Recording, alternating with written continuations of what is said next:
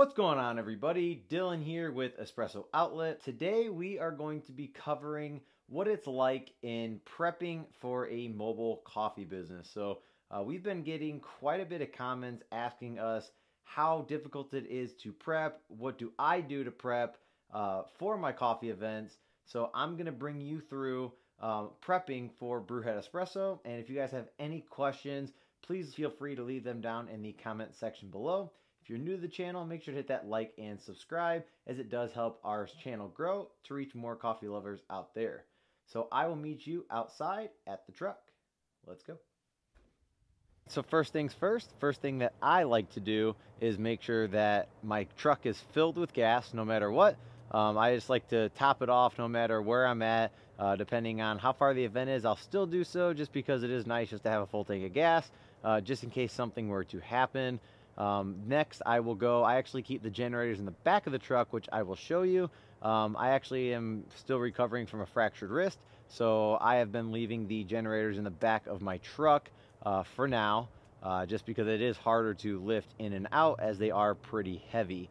Uh, the next thing that I would do is uh, check the back of the truck for the hitch. Sometimes I take it off, sometimes I keep it on. I have been leaving it on, so I know that it's back there, but I always just check just to make sure. Uh, it can never be too safe. So we're gonna go back and talk about the hitch here, and I'll tell you, and I'll kind of explain why I went with the hitch that I went with. It's pretty basic hitch. Uh, it is a little bit more expensive just because uh, you can change the level of where the hitch is. So the nice thing is it does have these locking pins on the side. Um, and it's also got, I don't know if you can see it, but it's got a little locking mechanism here to where it just kind of keeps it to where somebody can't just undo the pin and take your hitch. Uh, they can cut it off and they can obviously use the key if they had it, which hopefully they don't have it. Um, but the nice thing is with this hitch, especially because my truck is lifted um, two inches uh, in the back and in the front, it's got a leveling kit on it. Uh, this is going to allow for my trailer to sit as level as possible uh, when driving to any of my events, which is really important for um, trailer weight distribution. So just make sure, I will put a link in the description below on where you can purchase this hitch. I've had it for about a year and a half and it's been great. So uh, now we'll take a look at the generators in the back of the truck. So here are my two generators. Uh, I will put these in the description below as well if you are interested. Uh, these are the 4500 watt inverter champion generators. So these generators are absolutely, that they've been great. Um, so the way that they work is both of these are actually 4500 watts a piece, but I do have a parallel link kit that will connect them together, which will make them 9000 running watts or 9000 starting watts and then about 71 or 72, I believe, running watts. Um, which is important. You want to make sure that the watts that you have for your vehicle um, or for what you're powering is going to be enough. So the cool thing about these generators is it does have an easy start switch here. So you, you literally just put it over to the easy start and then you pull the cord. It always starts in my, I mean, there's been one time where it hasn't started on the first pull, but other than that, it started on the first pull. Uh, you have your regular outlets here. You have your um, 120 RV volt here. Uh, it's got your gauge right here. So it looks kind of like an oil can um, right here, but what this is, it's a power meter. So it really lets you know um, how much power you're actually generating from these generators, uh, which has been super nice, especially because um, it just shows you if you're running, uh, let's say you have an electric kettle, you have an espresso machine, you have grinders, uh, it just lets you know a good gauge of how much battery you're using, 0%, 50%, and 100%. Um, so something to note about these two generators, it's actually a 30 amp, but if you have the parallel link and you're putting them together, uh, it actually is a 50 amp. So um, my trailer is a 50 amp plug-in, so it just makes sense um, parallel linking these together using the 50 amp. And these are just nice and easily portable as opposed to the 9500 watt inverter Predators, um, which are nice, uh, but the problem with those is it is very, very heavy, especially when you add gas. Uh, it gets super, super heavy. So back here, all you see is I have it mounted on the cleats in the back just by a little tight rope here. Um, keeps it all good. Uh, one thing that I will do is just make sure before every event that I have enough gas and I also have extra gas cans that I will put um, over here on the side of the truck. So uh, as you can see, it is mounted on the cleat down there and it goes all the way to the other side. They are heavy enough to where it, they're not going to move when I travel. Um, you always want to make sure you have some extra cords. Uh, I have another jack right there. I, I, have a, I have a drill that I use, which I will show you in a second, uh, that I use to raise and uh, lower the jack stands on the actual trailer itself. But chocks, make sure that you have them because they need to go on your trailer, especially when your trailer is not attached to your vehicle at an event or even if it's parked uh, outside. So um, we're gonna go ahead and I'm gonna show you the drill that I use. So here is the drill that I use. I use a Craftsman's brushless. Um, it's a 4H lithium ion battery. Um, it's been super nice. At least this one is a 3 4 inch uh, drill bit and it's just a nice socket to where it's just super easy to obviously just make the adjustments for my trailer and I don't have to hand crank it because if you don't have a drill you have to use a handheld like this. Get a better view. Um, and this can be a little bit more difficult let me get it in focus here.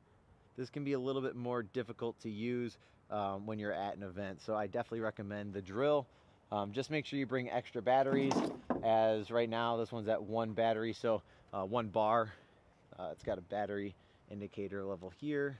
So I will change that out now uh, before I head over to the trailer. So I'm gonna put that in, change the battery out, and I will catch back up to you in my truck. Now we are in the truck and we are driving to the trailer. So um, this is a good time to note if you are looking to own your own mobile business or you probably would already know if you had it, um, the biggest thing to keep in mind is your community uh, regulations, guidelines, I guess you can call it, uh, because we are not allowed to keep our trailer at our house. So we have to either obviously pay for storage. Um, luckily, we had family members who allow us to keep our trailer in their pole barn, uh, which is nice. And we do have an outlet inside of there, so we have electric to where we can keep it pretty much heated and cooled depending on the elements. And we live in the Midwest, so it does get um, really hot and really cold. So today it's about 48 degrees Fahrenheit. Um, not super cold. Uh, it's obviously getting colder. It's uh, getting fall now, um, and it will be um, pretty cold here soon. I mean, we get to negative 30 with wind chill at times. So uh, definitely try to make sure that when you do do your trailer build that you do have like a mini split especially i mean even if you just live in like a, uh, a warm area like florida um, you obviously want air conditioning because um, too cold or too hot does affect your um, espresso equipment and it can be um, a negative impact on the longevity of your equipment so um, just going to be heading over there now it's about a 13 minute drive I will uh, catch back up with you when we get to the pole barn and I'll kind of just show you everything I do to prep there and then uh, bring you back home, kind of go over the list that I have of items that I bring for the events and yeah, I'll see you at the trailer. So we're just pulling in here. So we actually have our pop-up trailer uh, with our cart. It's actually going to be over here. So I'll bring you guys there first so you can see my smaller trailer. That's the mobile trailer that we bring around with the cart. And then come along over here. We're gonna make our way to the pole barn so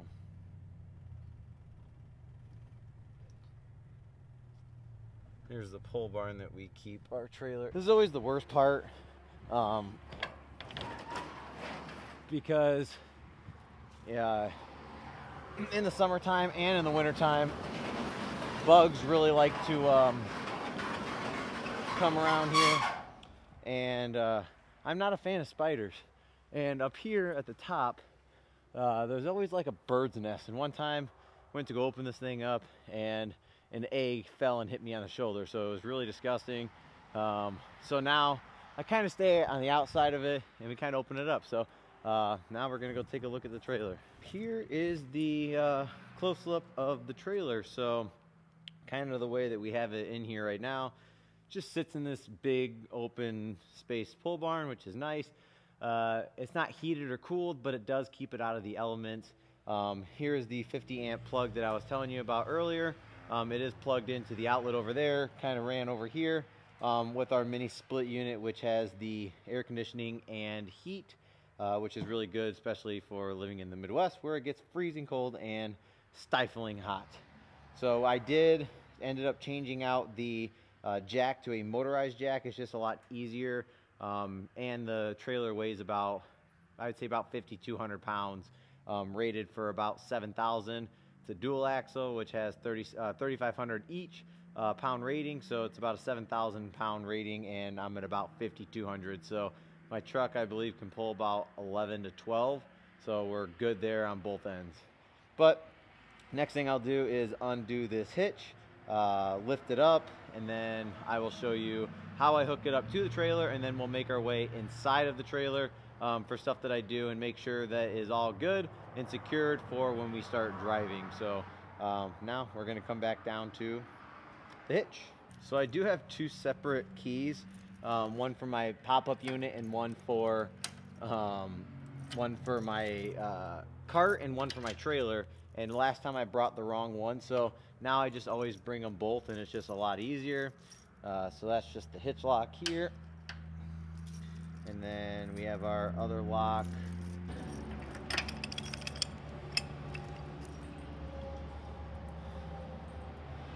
Just kind of set those off to the side. And then we're gonna go ahead and bring the truck back and then we'll hook it up so that way this has power and we'll get going. I normally like to get about a couple inches apart um, so that way I can hook up the trailer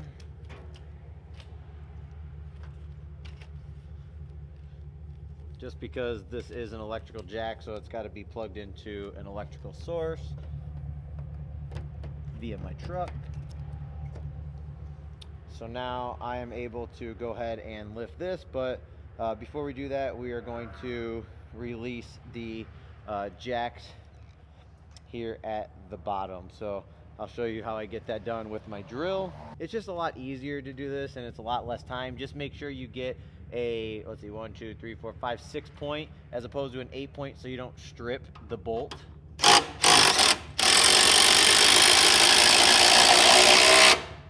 So I'm gonna do that to all four sides and then I'll meet you back over here by the hitch and we'll hook it all up. So the goal here is to lift it up about a half of an inch to an inch above uh, the ball that's already on the hitch so you can back up and be as accurate as possible so about right there just makes it so much easier all right so we are right over it there which is nice should just sit right on top and lock into place.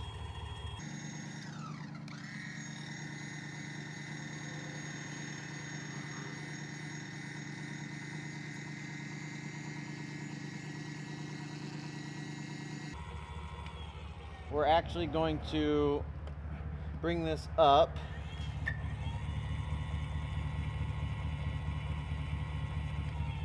So it's actually got like a little tiny uh, sticker here. It says do not lift past this point, so we won't. Uh, best thing to do is always cross your chains at the bottom. Uh, you don't want your chains dragging and wearing down um, when you're on the road. It's easier just to go on this side. Sometimes I like to cut corners, but it's harder to get this chain out from that side. So see how they're dangling about an inch, inch and a half off the ground? It's kind of what you want. Got to plug in this cord. This is our power cord. It gives power brakes to your trailer and lights everything up. So like I said, you always just want to make sure this is always locked in. So you feel from the bottom, it is. So you're going to put your locking pin or we've actually cut a little hole bigger so we can put an actual lock in. Um, but now some things to check, uh, which is a good thing to get in the habit of. So we have it locked into the ball and the hitch. Uh, the, the locking mechanism to hold that ball into place, um, hold the trailer in place is activated.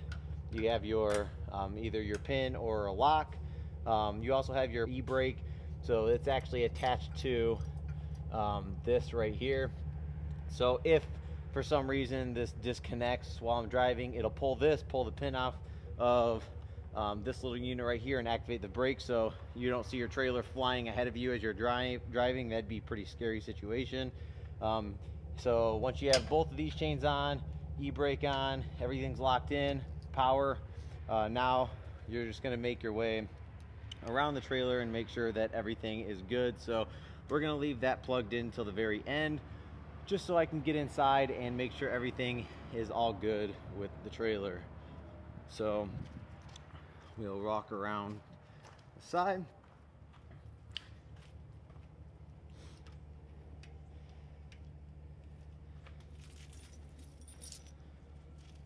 And we'll walk in the trailer here and make sure everything is good. I honestly can't remember um, how I left it, so I guess it'll be a surprise to both of us. Always move that around because probably a spider that's going to jump on me or something. Like I said, not a fan of spiders. Not my favorite. You can judge me in the comments, I know. Alright, so I will see you inside. A couple things that I just want to make sure about. Um, sorry if there is an echo. I have my mic on, but don't know if it's going to be um, really bad or not. So we do have the um, mini split on. We keep it at 76.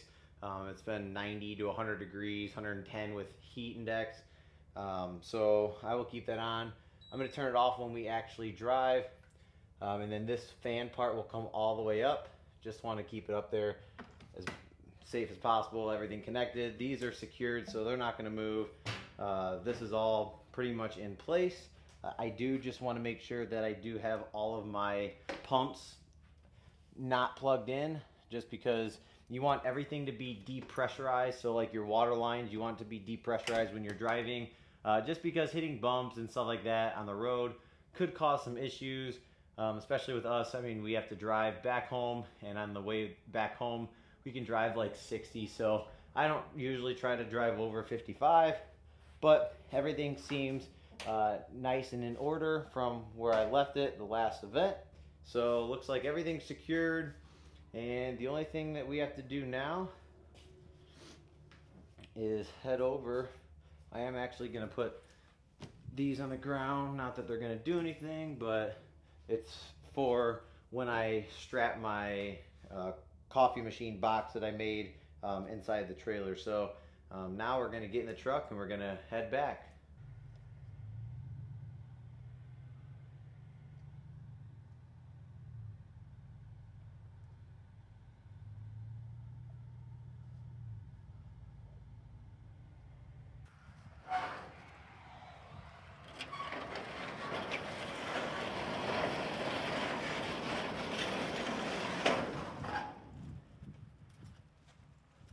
Okay, guys, there's a um, pretty big spider over there.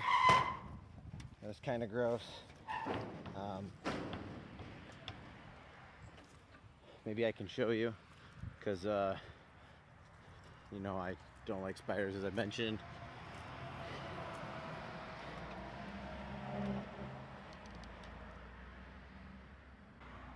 So I got that nasty guy right there.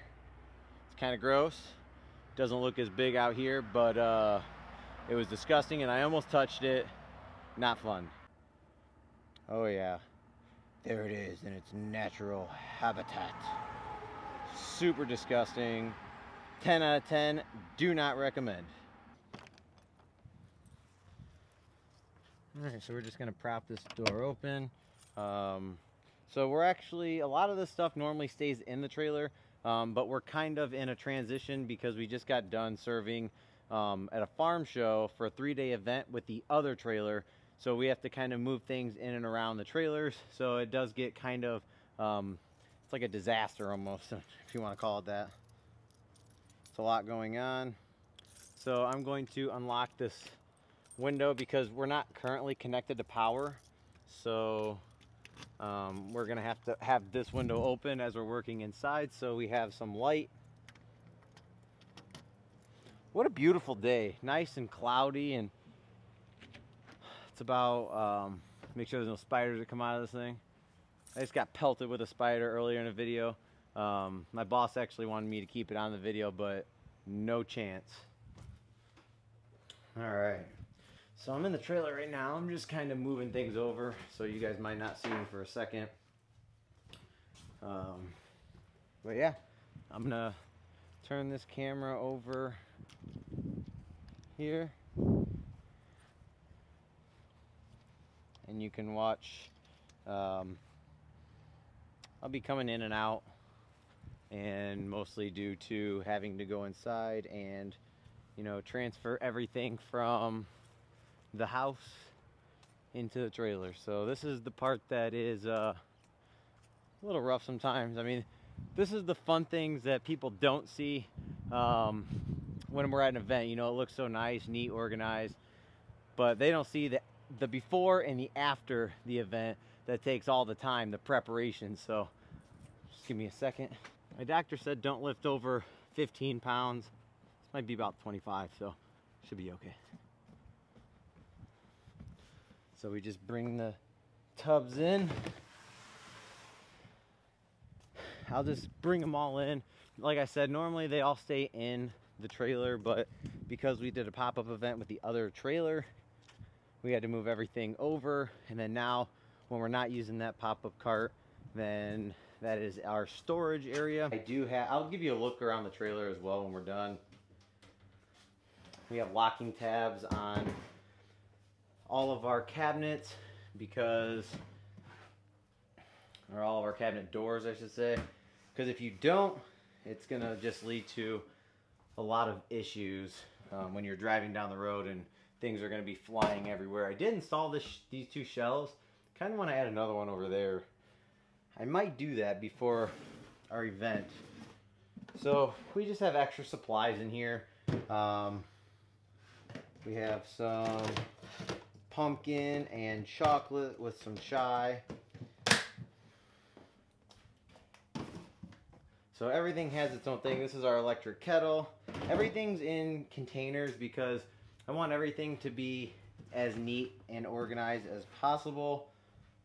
Um, just so that we know where everything's at. Everything's sealed in a container with a layer of foam. So we did pay a little bit more for them, but it just helps keep the bugs out and just makes everything a lot cleaner looking. So it's a win-win for us.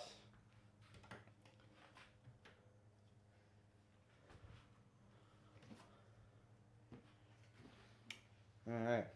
The fun part is actually deciding what goes everywhere because I took it all out to do the other event and I just don't really remember where everything went. This is what happens when you injure yourself and you haven't done an event for two months and you switched everything out of its normal place. But figure it out. So kind of go through, I guess, and show all of you what's inside everything. This is all of our cups and lids. Kind of come over here so you can see. So we have our hot cups, hot lids, cold cups, cold lids. So the first thing I would do is just make sure that we're stocked up on everything that we need. Looks like we're going to need a little bit more cold cups and cold lids. Um, probably won't be serving much cold, but we'll probably still serve quite a bit. Here we actually have I would recommend not putting shelves into your mobile units just because, unless you have them anchored down, which you can. Uh, I just rather have tubs, stackable tubs like this that interlocked with each other. So this one is just like an empty tub. Uh, this one's really empty. That one just has a garbage bag in it. This has all of our hoses for our gray water. So when we go and dump them at our facility, we have our first aid kit, our straws, our parallel linking kit here to um, pair both of the generators together. So that's all locked up. And this one, the next one, I mean, this is fairly simple. This is simple stuff. Just helps keep organized. This is where all the coffee goes. Um, some of our extra syrups, matcha, chais, electric kettle. And then over here we have uh, our iPad stand for our POS system. We have our specials for our menu. Uh, this one's empty. I can't remember what goes in there. I'm gonna have to really think about that. And then we have our paper towels, our bins, um, just some stickers and an extra uh, bin if we run out of space we need something to be held. Here is our three base sink. So we have our faucet on a swivel. We have a hand washing sink. Um, and then this actually comes out. You can wash your hands and then butcher block comes on top for extra cabinet space. Place for our machine, grinders, tamper, everything. Uh, we have our knock box, so we knock everything into a garbage that's below.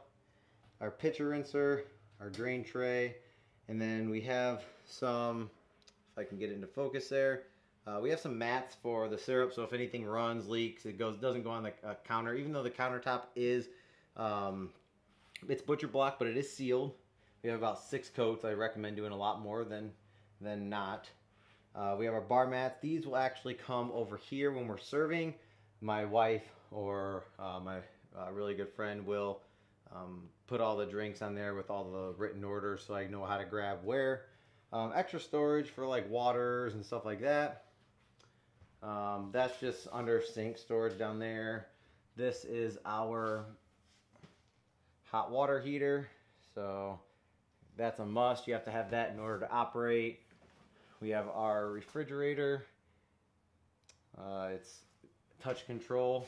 Keep it at about 40 degrees. And then underneath here is just an extra plug, garbage, um, shelving to go outside so you can put some like snacks on the outside where the pop-up window is. And then we have our ice bin. It's a huge ice bin, which I recommend going bigger because we have gone to a couple events where we have used all of that ice.